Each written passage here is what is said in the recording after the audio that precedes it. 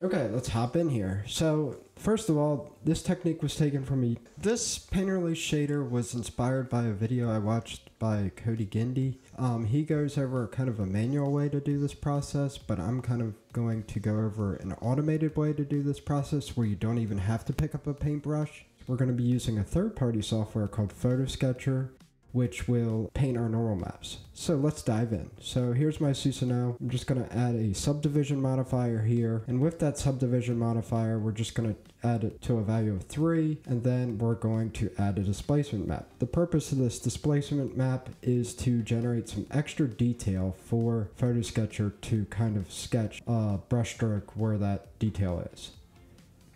So now we're going to lower the strength of our displacement map to something very, very small.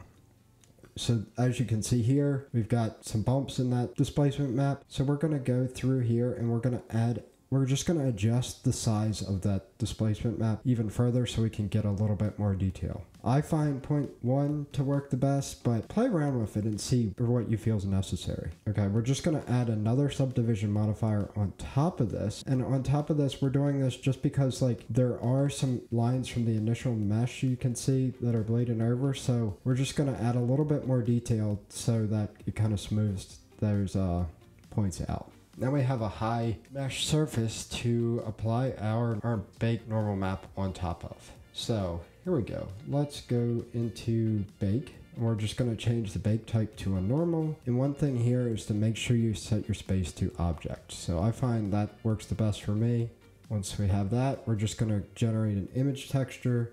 And a quick note here is if you have a faraway object or like a background object, this method works well using a lower res uh, image here, but like if you want to upres that to like a 4K image, that would work best for a like close-up object or a character that you're trying to generate that kind of look that you want. And really the sky's the limit here. It's just a matter of time and performance that you're going to have to spend basically baking the texture. And then when you get into FotoSketcher, it's going to take a long time to paint over that. So here we go. So we kind of saved our normal map. This is what it looks like with all the extra detail added in. As you can see, there's a lot of areas of contrast and a lot of, it adds a little bit more to the final. It helps FotoSketcher a lot when it actually gets to paint over the image. There we go. We're just going to save it into a standard folder. I'm going to call it noise one. Okay, let's open up our image in FotoSketcher.